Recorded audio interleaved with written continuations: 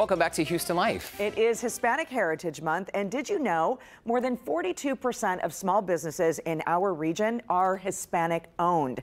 And Hispanics are two times more likely to start a business than any other demographic group. Today, Mel Camp is taking us to 59 in Hillcroft to explore one such business, Sweets by Belen. She's a woman on a mission. To make Houston sweeter. Meet Belen Bailey, eighth grade Spanish teacher turned baker and owner of Sweets by Belen. At this dessert boutique in Gulfton, get ready to drool over cakes and treats made with a nod to Belen's childhood home. I am from Peru. I moved to Houston 20 years ago, and I was a school teacher uh, for 15 years. And then one day I was crazy enough to uh, decided to open um, this store.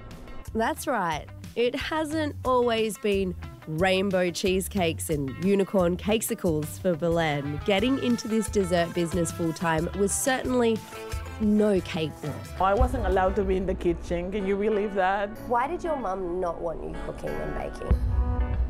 It is kind of painful and a long story. But um, my grandmother was a maid in Peru, and she just didn't want us to have that life that my grandmother had. So she said, You are going to school. And so Belen did just that, which is how she got into teaching. But cakes were always calling. So I was missing my mom's desserts and my grandmother's desserts and I couldn't find that those desserts here in Houston. So I said, well, I will start making it. This is how I started, you know, and I was selling all these sweets in the school. so I had a small fridge, you know, in my room, and the teachers were knocking the door. Miss Bailey, do you have those little cookies? They're so good. So I was, you know, I was a dessert dealer since I, I don't know, since I was a, a high school teacher. Belen bakes inspired by her roots and works off recipes passed down through her grandmother and mother. I was calling my mom pretty much every single day. Mom, how do you make, you know, the alfajores, these wonderful cookies? And she said, well, I don't have a recipe because your grandmother didn't have a recipe either, but you put, you know, a pinch of this, a cup of that, but it's not really a cup, it's just maybe a handful, you know, so what I was doing, I was making my own recipe with everything that my mom told me, and I was playing in the kitchen. This is our best dessert, and we really don't have a recipe.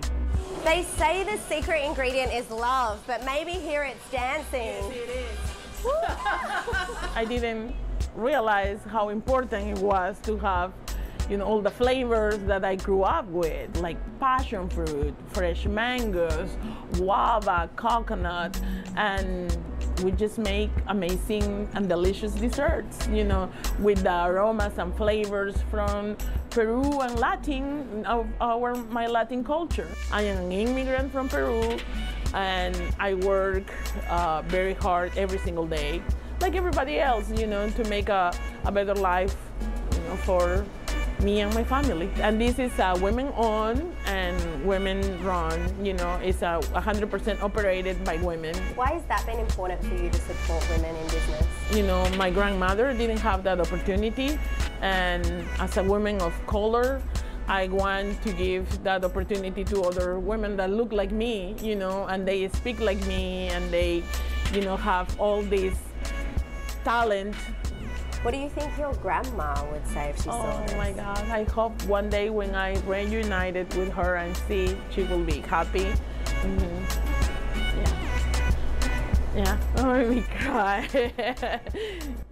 Super touching and her treats are delicious. Again, Sweets by Belen, very easy to find. 59 in Hillcroft, that is the Gulfton area. It's on the inbound uh, feeder road of 59. It is absolutely lovely. It is delicious too. If Belen's baked goods looked familiar to some of you eagle-eyed Houston Life viewers, when we celebrated Courtney's birthday back in August, the cake was from Sweets by Belen. It's one of my favorite places and was honored to have that on my birthday. She always does really beautiful cakes. We've used her several times. We so have. Thanks, Belen.